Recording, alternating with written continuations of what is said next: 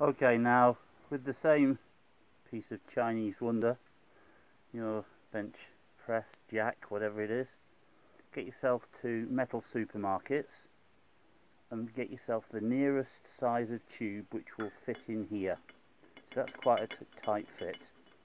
Or again, if you wanted to use a uh, socket head, that works well and just use one of the plates from your press now luckily enough you can feel up the back of the drum. See my hand there? You can feel oh maybe you can't you can't see. Anyway feel up the back of the drum and feel it inside and you'll be able to feel the bearing as it's coming down and you'll be able to feel that the notch has been filled.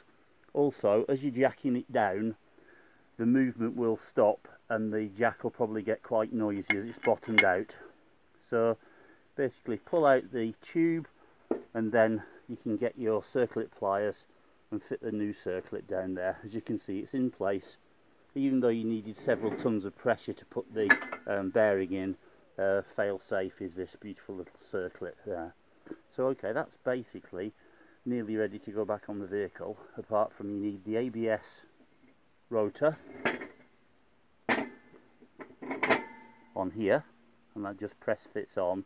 And also what I'm going to actually do is I'm going to be a, a bit of a fashion victim I'm going to paint the drums with some silver high temperature paint.